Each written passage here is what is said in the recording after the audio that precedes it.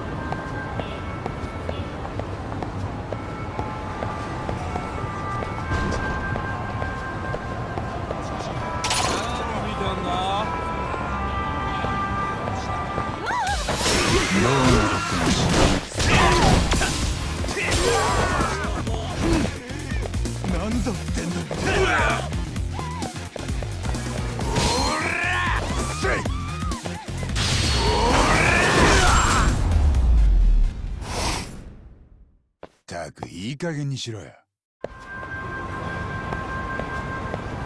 くぞ。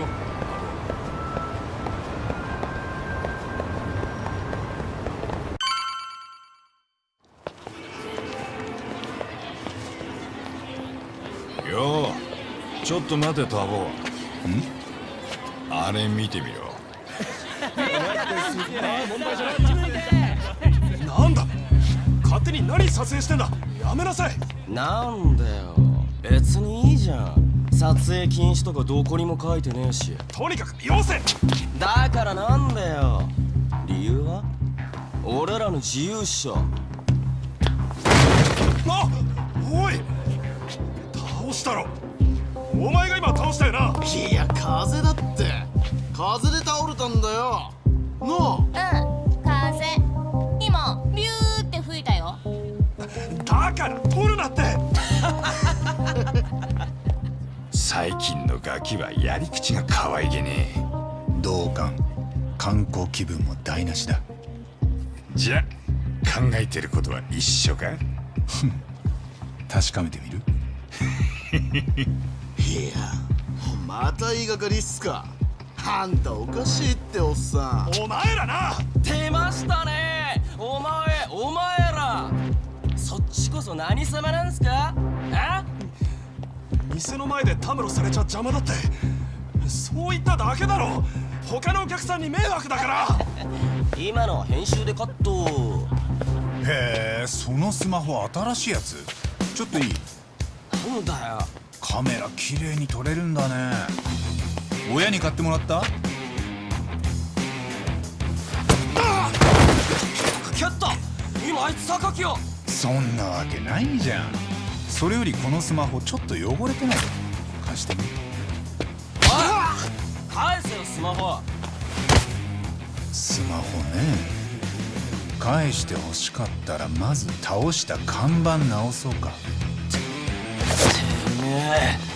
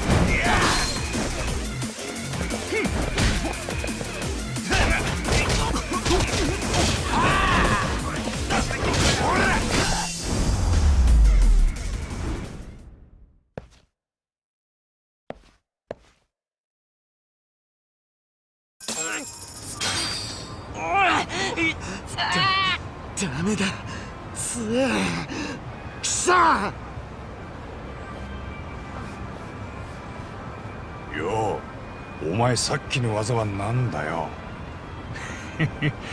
こっそり腕磨いてやがったな合気道か？そんないいもんじゃないよ。ただの我流。けどガキ相手にはちょうどいいだろ。これあいつらの落とし物です。好きに処分しちゃっていいと思いますよ。ありがとうございました。本当に助かりました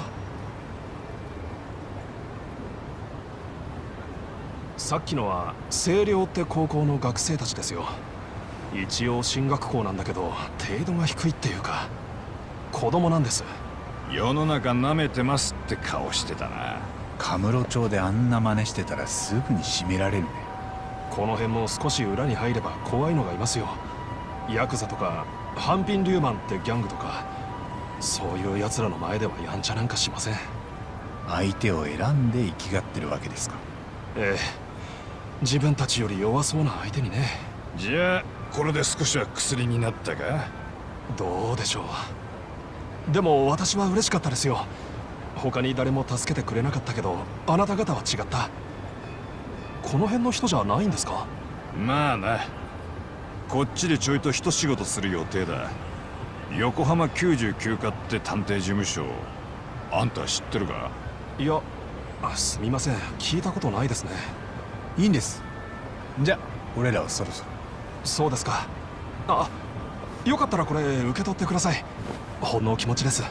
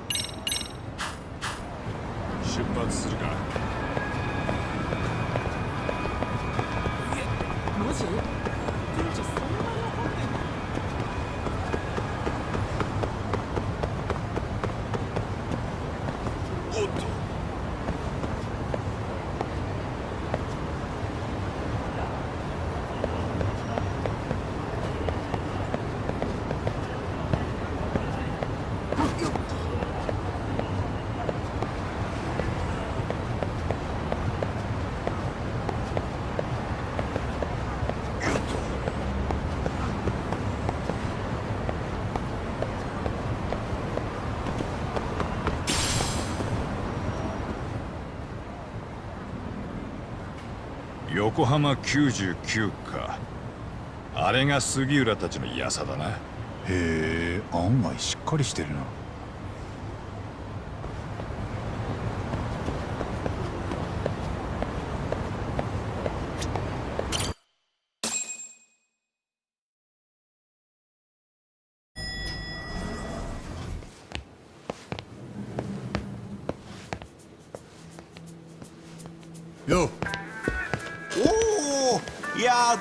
無沙汰でした。八神氏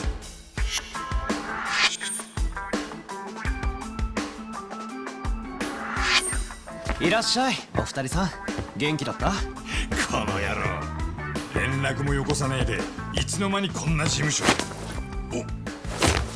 あお。っと。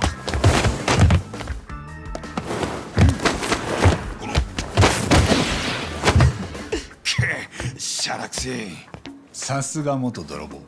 前より腕上げた。泥棒じゃなくて窃盗団ね。同じだろやだな。僕は私利私欲で盗む連中とは違うから。強きをくじいて弱きを助ける。義賊的なやつだよ。まあそれもずっと前に足洗ったわけだけど。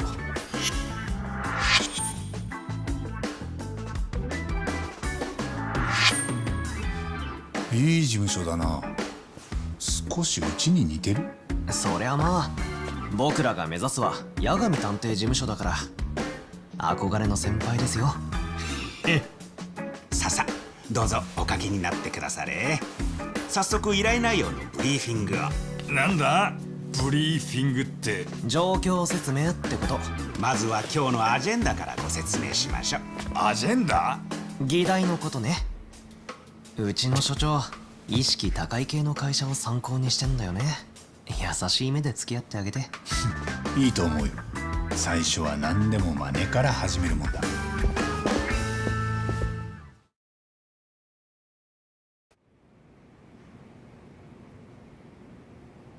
というわけで八神氏たちにご助力賜りたいのは最近探偵業へ増えつつある案件でして。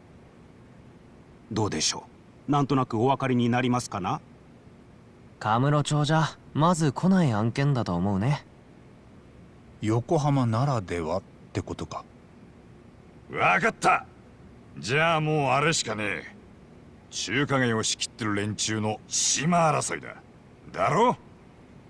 ああそういやこの辺ハンピン・ニューマンってギャングがいるんだって？そう。その半品なんとかの構想が依頼のネタだ今のところこちらにギャングの構想はありません。我が社で増えている依頼というのはいじめについての調査報告です。いじめか。うちの子がいじめられたようだから証拠を集めてくれとか加害者を特定してほしいといったものですな。親としては自分の子供にいじめの証拠があったら裁判楽だしそれで学校にも責任問えるでしょ子供っていくつぐらいの？一番多いのは中学生です。あの時期の男子はテストステロンという性ホルモンが急激に増えるんです。すると攻撃性や支配欲が強まるんですがまだ脳が未熟で理性が効きません。それでいじめが起きやすくなります。思春期ってやつか。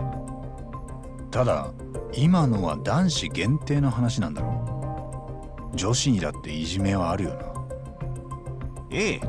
いじめには他にオキシトシンという脳内ホルモンも関係すると言われています。オキシトシンは男女問わず仲間への親愛を司るもので例えば母親が子供を見たりした時に多く分泌されます。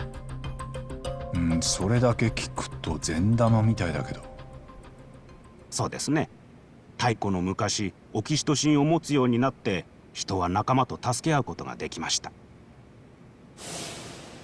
特に出産直後に子を抱えて無防備な女性には仲間たちの助けが必要でした。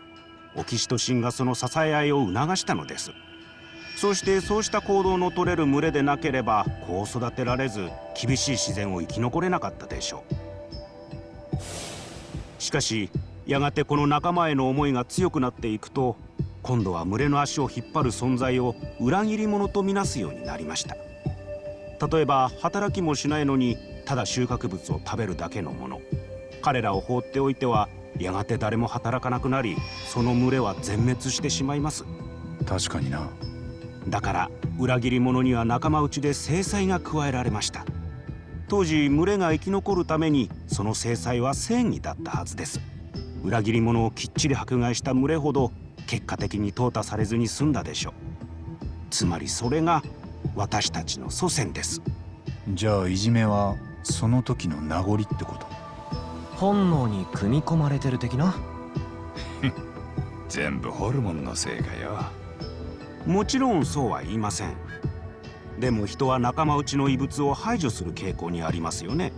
空気の読めないものを KY 反応の鈍いものをノリが悪いといじめませんか？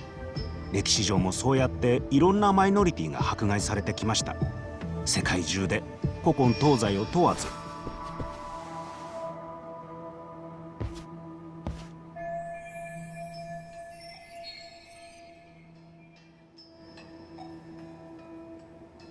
だいぶ勉強したみたいだな。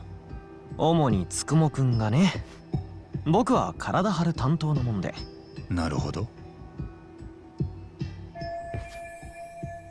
ではついでながらもう一つ面白い話があります。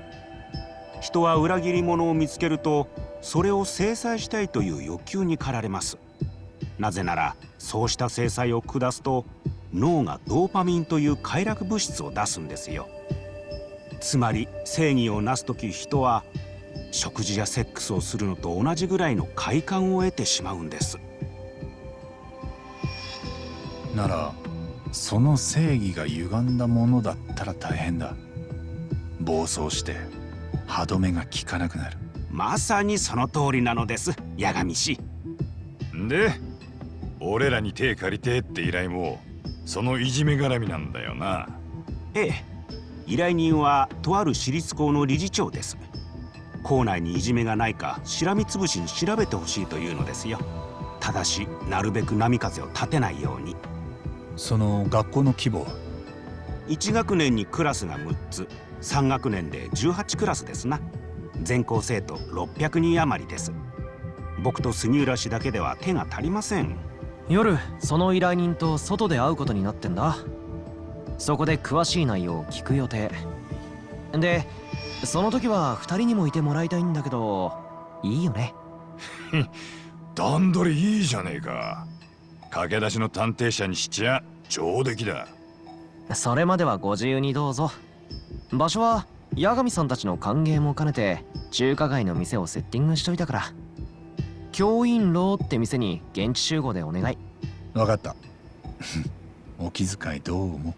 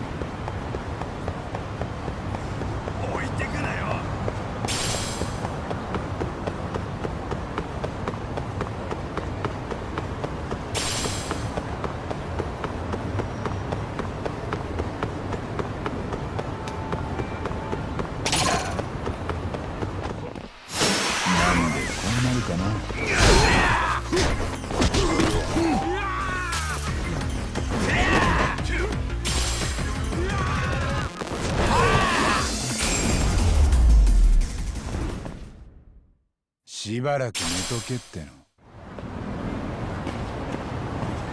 行くぞ。や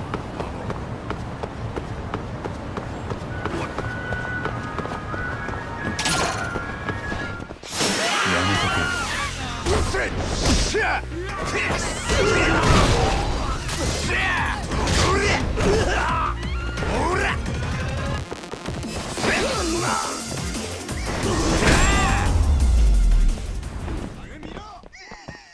いい加減にしろよ。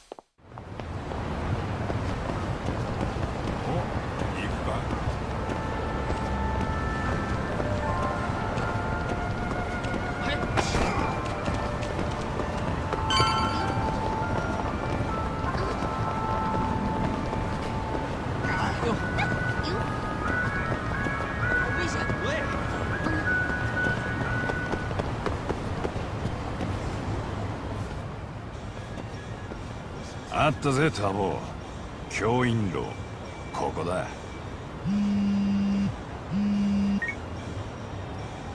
そろそろ着きましたかな八神氏我々はもう着いていますぞ。ああ今店の前。わかりました。では受付で雲の連れだと言ってください。了解。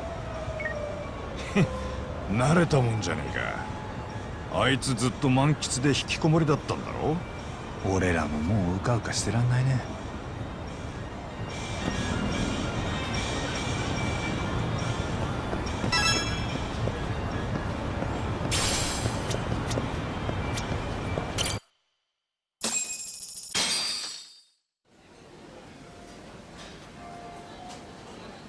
さあさあこちらが先日お話しした八神氏と海藤さんです。カムロ町の名探偵ですぞ。つくもさんからお噂はかねがね。私は奥田と申します。私立星稜高校の理事長をしております。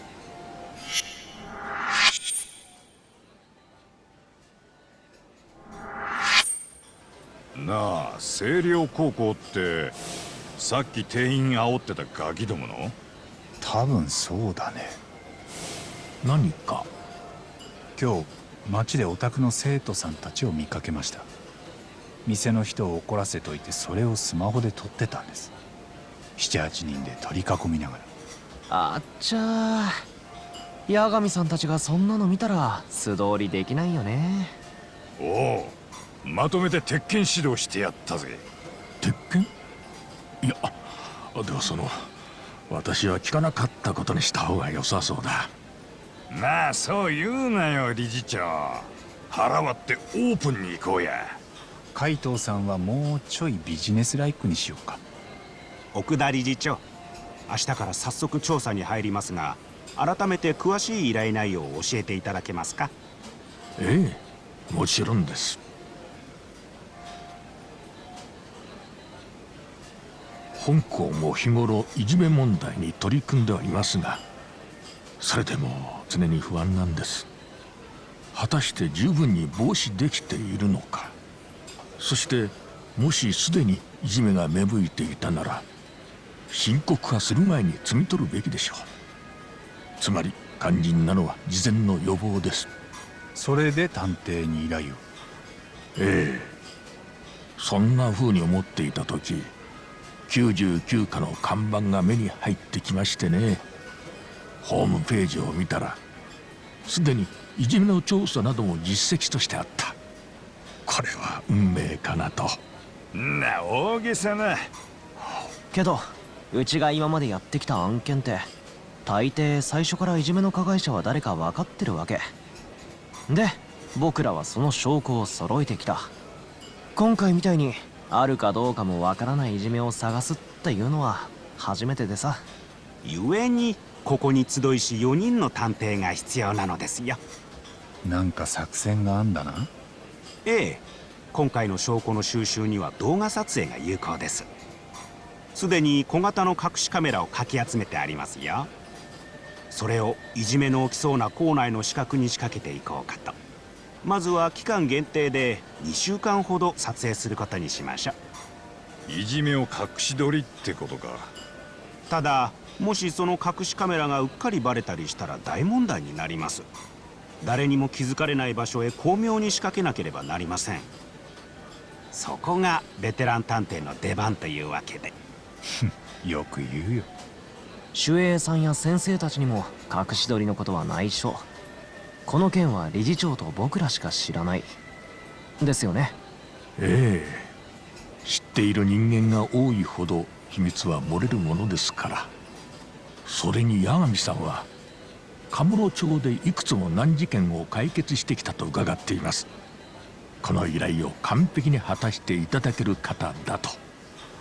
どうぞよろしくお願いします。どんどんハードル上げられていくなタボ。では八神氏何か理事長にお聞きしたいことがあればどうぞ。おいいね。ベテランの仕事ぶり早速勉強させてもらわなきゃ。なんかやりにくいな。まあでもそれじゃ。あ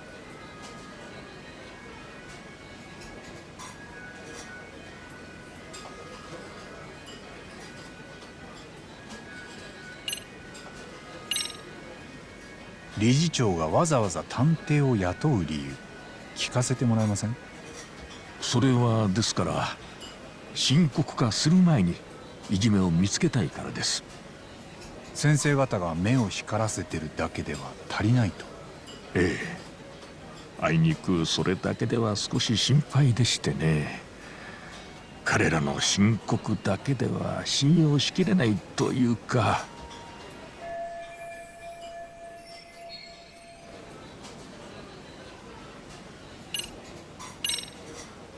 奥田さんはさっき先生方の申告を信用しきれないってそんな風に言ってましたよね。人のやることですから見落としや勘違いでいじめに気づかないこともあるでしょう。もう少し含みのある感じに聞こえました。そうでしたね。えー、あ確かに。何かあるんですか？うーん何と言いますか。実は4年前になりますがうちの高校で生徒が一人自殺をしています。自宅で首を吊って。それはいじめが原因で？いえ第三者委員会を設置して調査をしました。いじめの事実は確認されてません。裁判所も同じ判断でした。裁判所？自殺した生徒の保護者から訴えられたんです。学校でいじめがあったんじゃないのかと。ネットには確かにそういう書き込みがあって。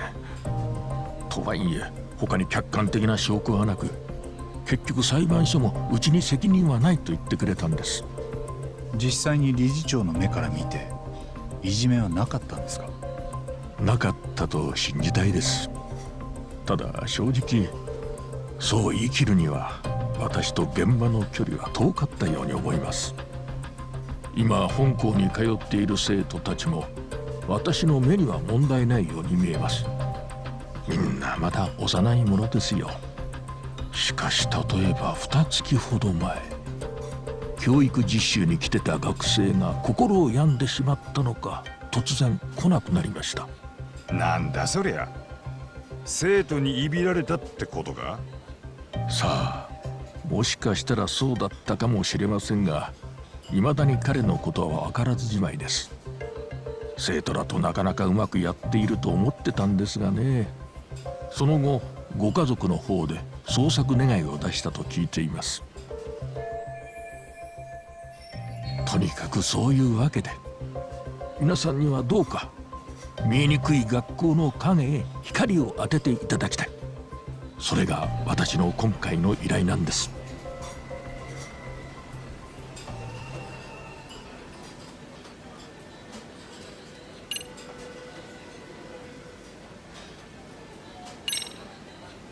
もし調べた結果いじめがあったらどうするんです？もちろん学校側で指導します。県にも報告しなければなりません。そうすると先生たちは仕事が増えちゃうよね生徒に聞き取りしたりいろんな書類を書いたりさ。それが嫌で報告しないなんてこともあったりして。ええ。残念ながらあるでしょうね。ただでさえ仕事の多い教師たちが進んでいじめを見つけ出したいかといえばできればないに越したことはない。じゃあいじめ見つけたらボーナス出してやるってのはどうだ？進んで見つけたくなるぜさすがにそういうのはまずいんじゃない？いや一案かもしれませんよ。まだ完璧ないじめへの対処法というのはどこにもないんですから。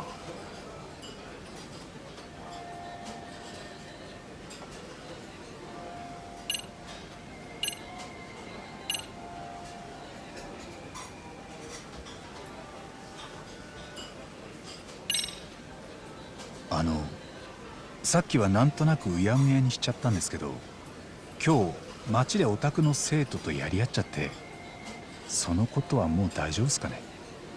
ええ。あのその話はもう聞かなかったことにしますので。おう。ただこれだけは言っとくぜ。同じ状況に出くわしたら俺はまた連中を締めっからよ。遠慮する気はねえ。相変わらずだね八神探偵事務所は。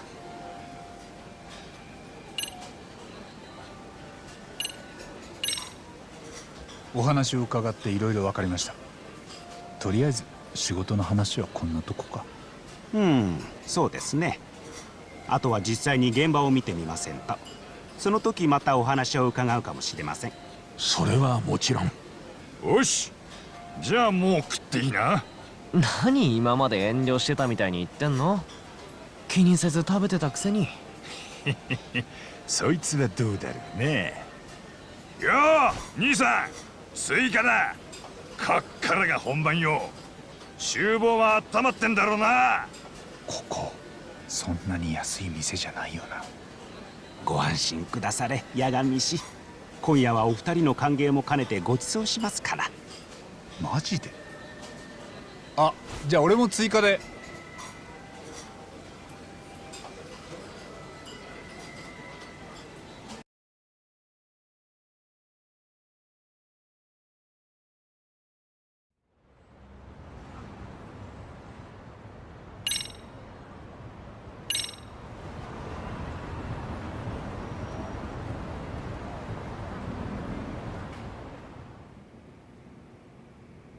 やー初日からご苦労様でした。八神氏先ほどは細かい話も出ましたが要は星稜高校でいじめの事実を見つければいいのです。ああ。学校に隠しカメラを仕掛けるって言ってたな。ええ数に限りがあるので明日仕掛ける場所を探りましょう。校内へは空調整備に来た業者の手で潜入するつもりです。つなぎでも切ろってのか？実はもう人数分作業服を用意してありますよ。今回の仕事で我々の調査を承知しているのは理事長一人。なので生徒や他の先生方の目をごまかさなくてはなりません。分かったよ。まあいい。今日はこんなとこだ。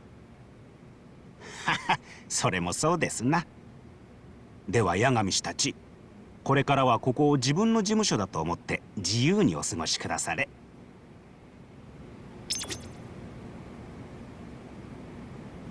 僕は夜行性ゆえこの時間からが本領発揮なのです。気にせず八神氏は明日に備えてくだされ。寝床はそこのソファーが見た目以上の寝心地ですぞ。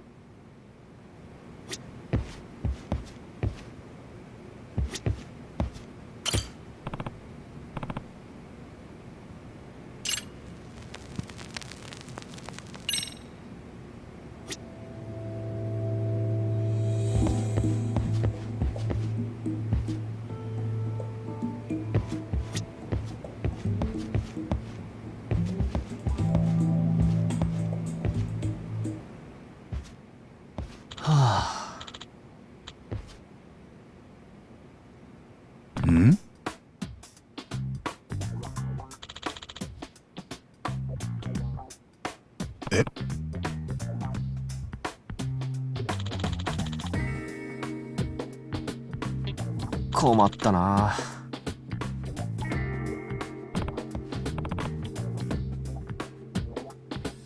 うん。おう。なんと。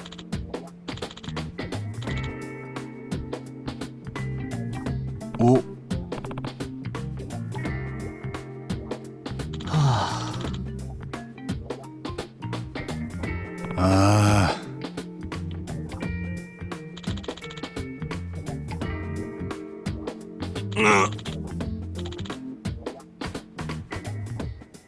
あは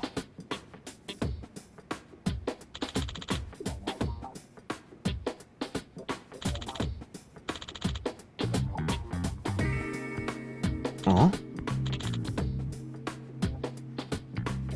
八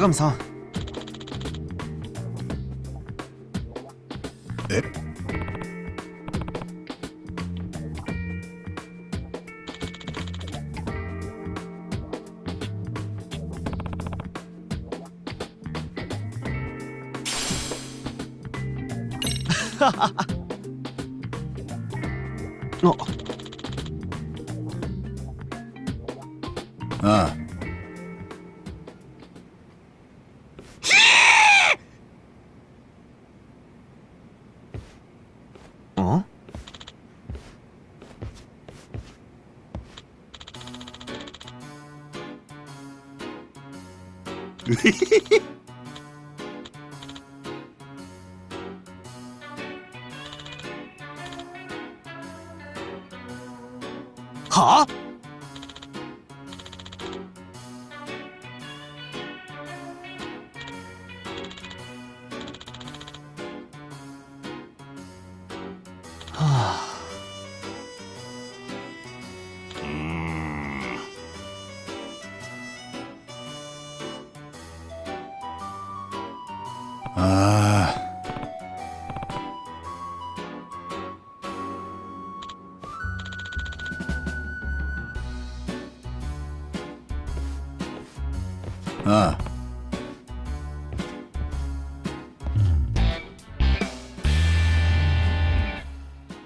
願いしますぞ。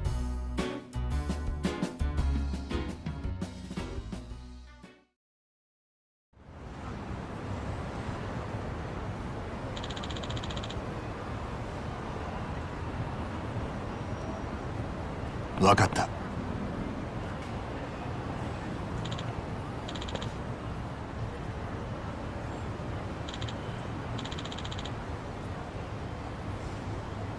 おう。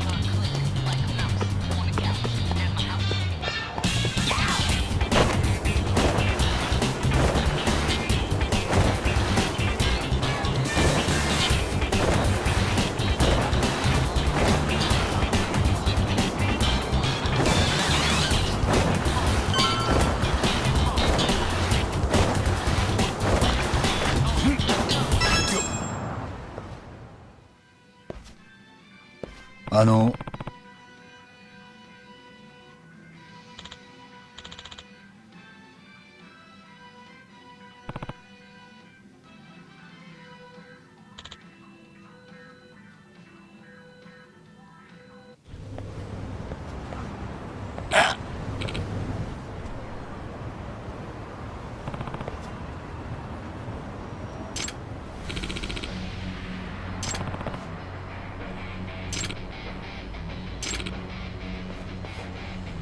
まったく。